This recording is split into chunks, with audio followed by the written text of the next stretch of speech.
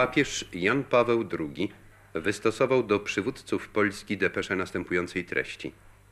Szanowni panowie Edward Gierek, Henryk Jabłoński, Piotr Jaroszewicz, Warszawa.